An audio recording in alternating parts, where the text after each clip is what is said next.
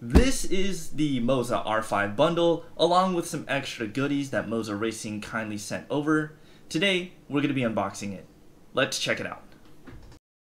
Now, before we get started, I just wanted to mention again that Moza Racing did send me over this R5 bundle, and I just wanted to give a quick shout out to them as I have been eyeing this for a bit, and I'm really excited to try it out. I also wanted to clarify that in this video, we'll be focusing on solely the unboxing and setting up aspects, as it would be too early to give my thoughts on this bundle's performance before getting to truly test it out. That video will come soon enough, so if you guys are curious to hear my thoughts on that, stay tuned. Now let's get started. The Moza R5 bundle retails at a price of 599 US dollars, but their website has been listing it at a discounted price of 459 US dollars for quite some time. You'll find this discounted price will be the same with their partners at Micro Center. Of course, this being the bundle, we'll have everything we need to get racing right away, with the base, wheels, and pedals. First off, we have the ES steering wheel. Made from aluminum alloy with a microfiber leather grip, this 11-inch wheel features 22 programmable buttons and 10 RPM LED lamp beads that are fully adjustable through Moza's Pit House.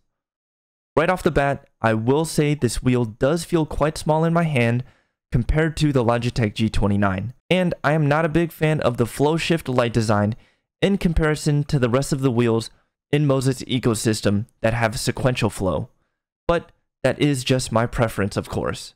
One thing I do quite like about this steering wheel is the aluminum alloy shifters, where each shift feels very tactile. Just take a listen.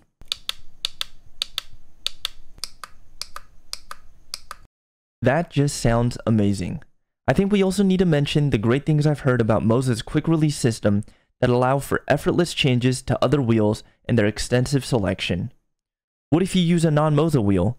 Well, Moza has you covered with their quick release adapter, allowing compatibility between Moza bases and third-party wheels. Next, we have the heart of the bundle, the Moza R5 wheelbase. As the name suggests, this aviation-grade aluminum-built direct drive base offers up to 5.5 newton meters of torque, a decent upgrade from belt-driven wheels we currently have on the market, such as Thrustmaster's T248 or Logitech's G923. This being one of Moza's entry-level base is definitely attractive for those still relatively new to sim racing, especially if you're mounting this onto a desk or stand.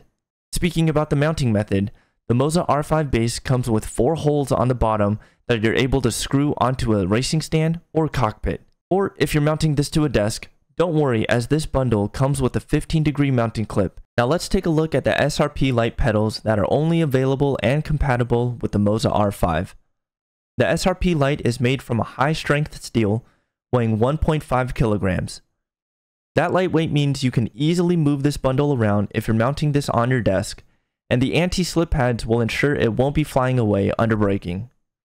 While you can adjust these pedals and spacing and output to what fits your comfort, even if that means inverting them, the only negative I can point out about these pedals are the sensors.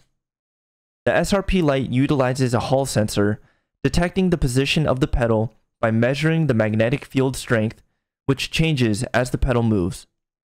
For a more immersive and realistic driving experience, sim racers tend to prefer load cell pedals that measure the force applied. One other thing we have to mention is a lot of negative things I've heard about the brakes, specifically that they feel no different to the throttle.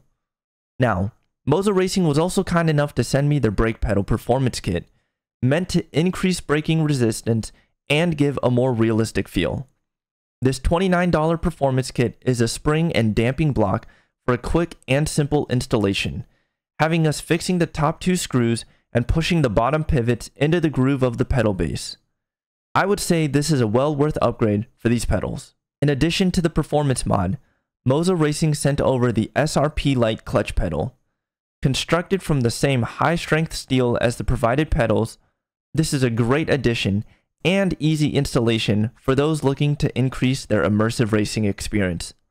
Those interested in adding this to their R5 bundle can check it out at mozaracing.com for about 43 US dollars. And that is everything that comes with the Moza R5 bundle and more. I hope you guys enjoyed this video. If you did, please don't hesitate to drop a like and comment down below what kind of setup you guys are running. If you're new to the channel, make sure to stay subscribed for sim racing and sim hardware content. Now it's time for me to try out the Moza R5. Be on the lookout for my thoughts on this bundle in a future video. I'll see you next time, and thanks for watching.